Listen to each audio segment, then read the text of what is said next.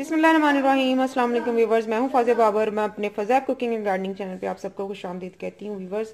आज मैं बहुत ही आ, आ, अच्छा एक टिप जो है यूनिक किस्म का वो आपके साथ शेयर करने वाली हूँ। पहले भी मैंने आपको आ, एक वीडियो में बताया था कि हम धनिए को कैसे लंबे अरसे तक स्टोर कर सकते हैं लेकिन वो थोड़ा ऐसे था कि हम उसको ड्राई करते हैं। तो ये ड्राई किए बगैर हम धनिए को ज़्यादा टाइम करते हैं कि ज़्यादा टाइम के लिए, ज़्यादा वक्त के लिए हम इसको स्टोर करके रखें तो वो आज मैं आपको बताने वाली हूँ कि कैसे हम इसको करेंगे फ्रीज़ आप सोच रहे हैं कि इसको हम फ्रीज़ कैसे करेंगे? तो ये तो गल जाएगा या ये नरम हो जाएगा? बिल्कुल ऐसा नहीं होगा।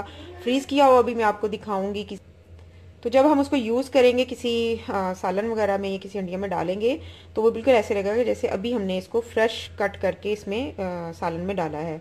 तो बड़ा आसान तरीका है इसका कोई इसमें मुश्किल नहीं है कोई ऐसे बड़े लंबे चौड़े काम नहीं करने। सिंपल ये मैंने धनिया लिया उसको धोया धो के उसको ऐसे बना के रख लिया है। ये देखें इसकी डंडियाँ जो हैं और पत्ते थोड़ी थोड़ी सी डंडियाँ इसके साथ रहने देनी है और ये पत्ते हैं तो ये मैंने बना के रख लिया है और अब मैंने इसको काटना है।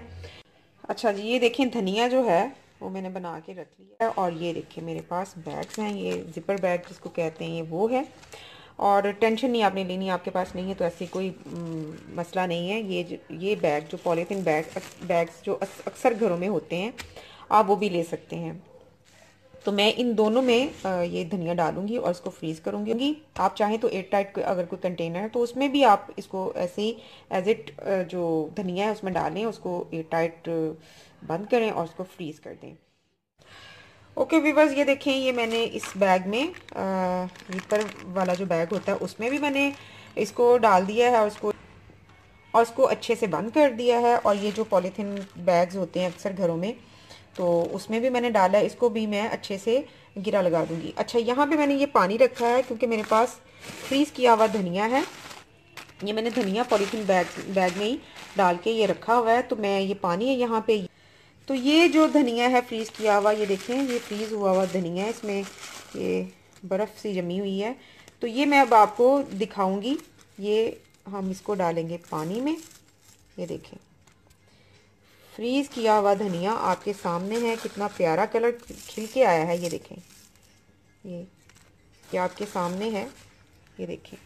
ये फ्रीज़ किया हुआ है, इसमें बर्फ़ है आइस है इसमें।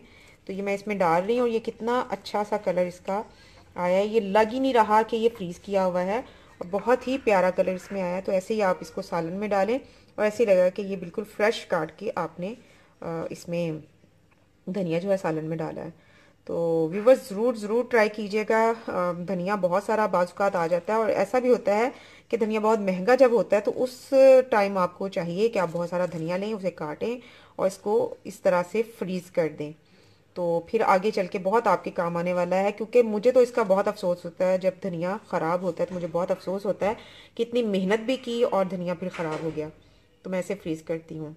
तो मेरे वो व्यूवर्स जो पहली दफ़ा इस वीडियो को देख रहे हैं वो सबसे पहले मेरा चैनल सब्सक्राइब कर लें और जो ब्लू आइकन बेल है उसको भी हिट कर लें ताकि कोई भी अपडेट्स हो वो आपको सबसे पहले मिल सके।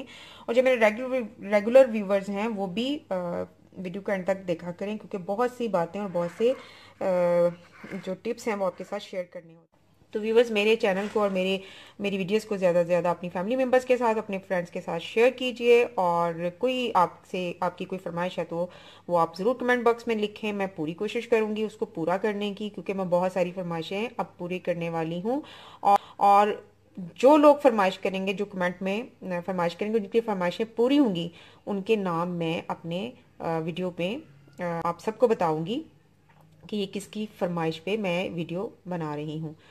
तो जल्दी से उठिए और कमेंट करना शुरू कीजिए और अपना नाम उन लोगों की फ्रेस में शामिल कर लीजिए जिनको मैं अनाउंस करने वाली हूँ अपने चैनल पे। तो चलिए विवर फिर किसी तरह किसी नई रेसिपी या नई वीडियो के साथ आपके सामने हाजिर होंगे। तब तक अपनी शेफ फाजिया बाबर को इजाज़त दीजिए। अल्लाह हाफिज़।